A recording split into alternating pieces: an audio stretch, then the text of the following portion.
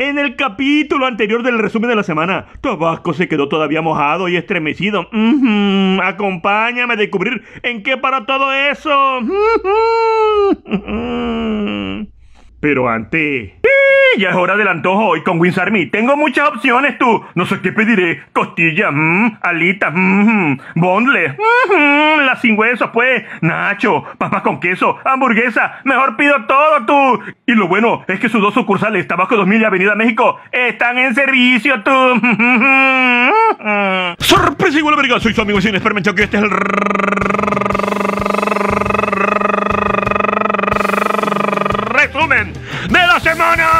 Lunes. Adán Augusto López Hernández denuncia que la culpa de la inundación es ni más ni menos que de la mafia eléctrica, un conjunto de seres malignos, reptilianos y corruptos que se dedican a inundar gente desde la CFE. Todo para darle energía eléctrica a Mérida y Quintana Roo. ¡Lo sabíamos! Maldecido Carlos Francisco Estrada de Femán. Le voy a cortar la luz a todo, igual la vega. Le voy a quitar el diablito. Y si no tiene diablito, se la voy a hacer de pedo. Yo soy Cefemán. Tengo un pichón. Además, al fin deja de llover un ratito en el sureste. Pero Tabasco se sigue yendo al agua silenciosamente. Esta inundación fue como un pedo de esos cuajados que no suenan, pero como apestan a mierda. Marte, seguimos con el culito a dos manos, porque según viene el peor de los peores huracanes de los últimos tiempos, se trata de Delta, que está por partir de su madre a todos con vientos de chingoscientos mil de kilómetros por hora y rachas de no sé cuántos vergaciómetros por segundo. ¡Dios mío, auxilio! Lica, anda y busca de una vez al carcamero para amarrar el picho antes que sea demasiado tarde. Además, en el norte tampoco están tan tranquilos, porque allá por la noche se le frunció el nudo del globo, el cortachurro, el sin esquina, la boca de mojarra, el otro ombligo, o sea, el se fue. Esto después de que un objeto mero luminoso pasara en vergüenza por el cielo. ¡A la verga! Inundaciones, pandemia, muerte. Los marcianos ya están ansiosos de hacer su presentación, demonios, apúrense.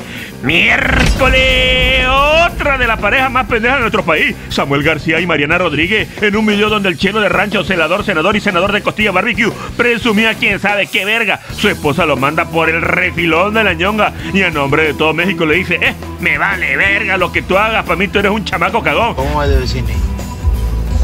¿Quieres ver mis tenis? ¿Qué tal?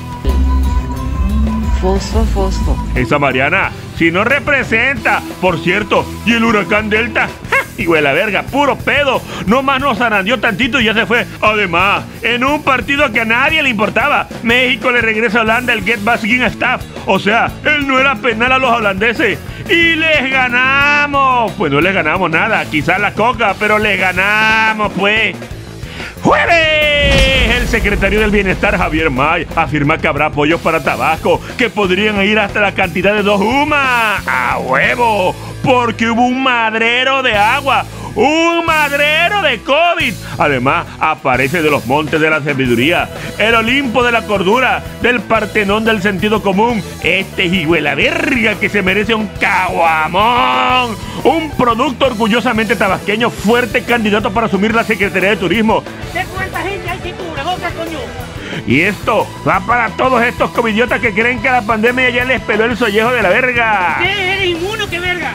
El Congreso del Estado ya planea poner en letras doradas la frase célebre. No insultes, hijo de la verga. Viernes, al fin nuestra salvavidas de la esperanza, nuestro albergue de la salvación, nuestra costalera de la serenidad, Andrés Manuel López Obrador, viejito santo, llega a Tabasco, pero de pasadita nomás, porque realmente iba a Palenque. Ese es mi pecado. Eso sí, prometió que va a caer el cacao para los afectados. Además, empatan los dos candidatos a dirigir Morena, Porfirio Muñoz Ledo y Mario Delgado. El pedo ahora será ver a quién le toca ser espurio y a quién ser el presidente legítimo. Y en los Estados Unidos, el anticristo del racismo, el pez diablo de la intolerancia, el maldecidísimo comején del egoísmo, Donald Cabello Público Trump, está recuperado del COVID-19 y está listo para seguir cagando la verga. Digo, para seguir con su campaña a la presidencia. ¡Ay, Diosito! Regrésanos a Trompito y llévate este shoto que más payaso.